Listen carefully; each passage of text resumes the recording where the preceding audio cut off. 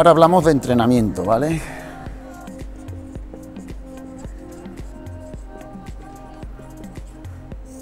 En realidad el entrenamiento de hipertrofia por definición es un entrenamiento intenso, sostenido en el tiempo de forma irregular.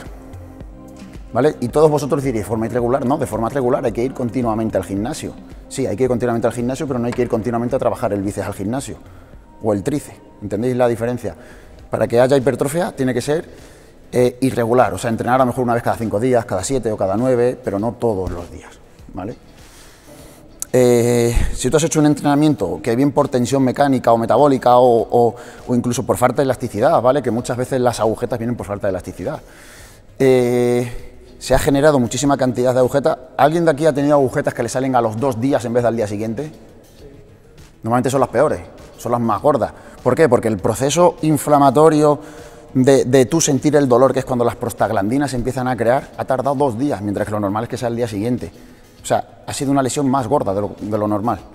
Entonces esa recuperación será más larga. Primero tiene que ser recuperación de la lesión, luego la supercompensación y luego ya pues lo, lo que quieras dejar de descanso, ¿sabes? O sea, puede acabar justo la supercompensación y volverlo a entrenar, pero bueno, tampoco, como nunca sabemos exactamente cuándo acaba, ¿sabes? Aunque muchas veces se dice la síntesis proteica dura 72 horas, no sé qué, en realidad no se puede saber lo que dura, ¿vale? Depende del músculo y de mil cosas. Entonces, si la simple recuperación de esas agujetas y de esa inflamación y tal ya te has llevado 5 días, pues a lo mejor tienes que esperar 9. Si te has llevado solo un día, pues a lo mejor con descansar dos tienes. Pasa que en el sistema, del en el sistema de fútbol Adaptaciones fisiológicas hay pocas, son casi todas más técnico-tácticas, ¿vale? Mejora de técnica y de táctica, sí, y luego fisiológicas, pero a nivel de fondos, resistencia y demás, no de hipertrofia. Entonces, ¿qué sucede? Que la resistencia, de hecho, lo ideal es trabajarla todos los días, lo que es la resistencia aeróbica. Pero la fuerza, claro, pero la fuerza, claro, eso no agota sistema nervioso ni nada. Sin embargo, el otro sí. Al final todo está limitado por el sistema nervioso, que es la cabeza, ¿vale? Es la centralita. Entonces, el entrenamiento, el entrenamiento se basa en dos principios, ¿vale? Que es el de que es el de adaptación. Este sí sabéis lo que es, ¿no? O sea, el, músculo necesita crecer por ciertos estímulos, entonces se adapta creciendo. Y ya está, ¿vale? No, esto no me voy a enrollar, adaptación y ya está, tampoco tiene mucha más historia. Vale, el principio de homeostasis, ¿sabéis lo que es? La homeostasis corporal, ¿sabéis lo que es? Equilibración. ¿Vale? Esto significa que el cuerpo siempre tiende a un equilibrio. A un equilibrio en todos los sentidos. Y os voy a poner un ejemplo. Si tú haces muchos cool de bíceps, llega un momento que el bíceps está agotado. ¿Vale? No sé si os ha pasado algunas veces que hacéis bíceps y ya por más que haga no siento ya más el bíceps. Se me carga el antebrazo, se me cargan otras partes, pero ya el bíceps no. Vale, pues el cuerpo está buscando un equilibrio, no puede con el bíceps, tira con el antebrazo, con el coracobraquial, etcétera, ¿vale? Eso es un ejemplo muy absurdo que os he puesto, pero puede valer. Pero tira a la homeostasis en todo. En todo. Entonces, ¿qué sucede? Tú entrenas hipertrofia, le das un estímulo para crecer y el músculo va a crecer. Te llega un virus, te tiene en cuarentena cuatro meses y ¿qué, hace, qué pasa a ese músculo? No hay estímulo, se va. La hipertrofia es quizás una de las, de las manifestaciones físicas o adaptaciones más desagradecidas que tiene, que tiene el cuerpo. Crece mientras estás obligando, crece, crece, crece, crece y se va súper rápido. Sí que es verdad que, como hemos dicho antes, las células satélite, ¿os suena lo que es la memoria muscular? ¿Creéis que existe memoria muscular? Tú puedes trabajar fuerza, luego trabajar hipertrofia, seguir teniendo el mismo tamaño muscular, pero ya no mover lo mismo, por ejemplo, en peso muerto que antes hacías fuerza. Y no es que hayas perdido músculo, simplemente es que la adaptación neuromuscular se va súper rápido. ¿Vale? O sea, esa se va súper rápido. No, no tiene que ver con eso. Tiene que ver con lo que he dicho antes de la célula satélite. Antes os he dicho que la célula crece y cuando se hace muy grande se le acoplan núcleos. ¿Vale? ¿Qué sucede? Tú cuando tienes cierta hipertrofia, esa célula está hinchada, está hipertrofiada y va metiendo núcleos. Cuando dejas de hacer ejercicio, esa hipertrofia la pierde, pero los núcleos siguen dentro. ¿Vale? Entonces, una vez que empiezas a hacer pesa, es una célula pequeña, pero con muchos núcleos, se gestiona mucho más fácil que de la otra manera, entonces crece mucho más fácil. ¿Vale? Entonces sí que hay memoria muscular y tiene que ver con, con los núcleos que has recibido en su época de antaño de la célula satélite. ¿Vale? Y hay autores que dicen que también tiene que ver con la hiperplasia, que aunque no se ha demostrado en humanos, se ha demostrado en perros, en mamíferos, en tal. Entonces, a ver, la hiperplasia en realidad sí que se ha demostrado. ¿Quién no escucha decir tiene hiperplasia prostática? ¿Sabes? Un cáncer de próstata.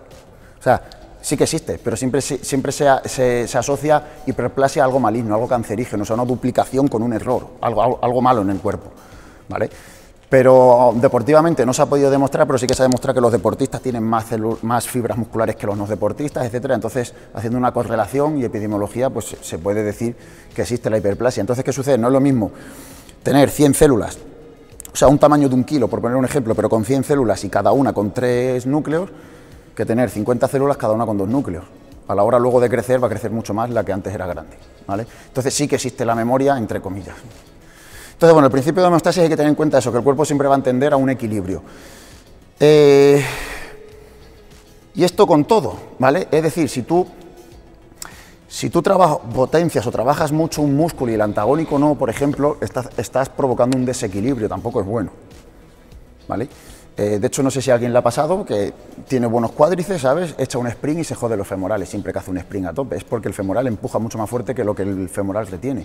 Pasa mucho en atletismo. ¿Y qué sucede? Pues que no había un equilibrio, ¿vale? Entonces siempre el cuerpo en todo tiende a la homeostasis. Por eso la gente que trabaja todo el cuerpo crece más que la que solo trabaja partes puntuales y demás, ¿vale? Para todo, la, eh, homeostasis funciona para todo. Eh, y luego el término de hormesis, que esto es lo que os he dicho antes. ¿Os suena lo que significa lo de hormesis? ¿A nadie suena?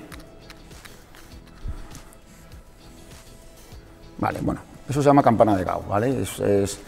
esto digamos que sería, casi todo en la vida se puede medir así, casi todo. Es decir, tú quieres crecer, empiezas a comer más, más, más, más, más, más y cada vez te encuentras mejor hasta que llega un punto que si sigues comiendo más, vas para abajo. Te pones gordo, empiezas a tener resistencia a la insulina, empiezas a tener ciertas patologías.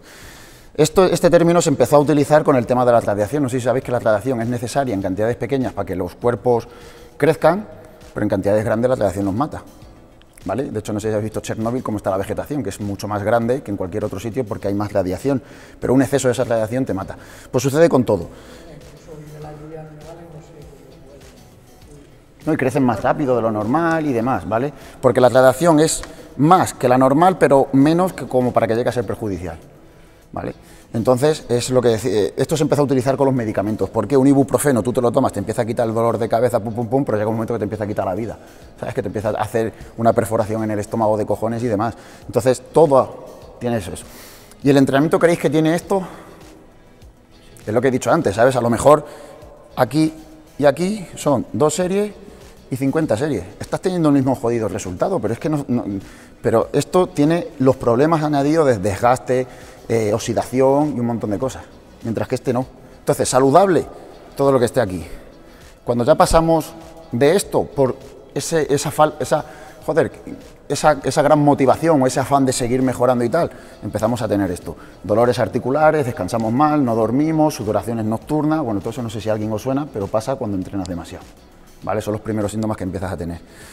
Entonces, esto es un poco complicado de determinar cada uno donde tiene este punto alto, es bastante difícil.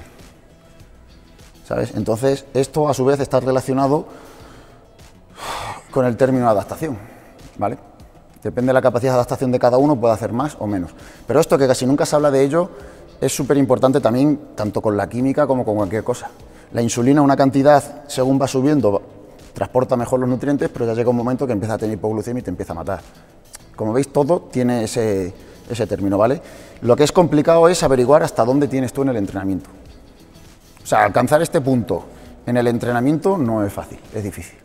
Lo que sí que digo, por lo menos mi consejo, que es mejor empezar en toda esta franja quedándote corto antes que esta. ¿Por qué digo eso? Porque hay gente que lleva dos meses en el gimnasio y lo ves haciendo ocho ejercicios de pecho. Creo que han empezado demasiado rápido. Si, una persona que acaba de empezar, que está teniendo adaptaciones neuromusculares sin más al principio, está ya en esta franja, hay algo que no, que no funciona.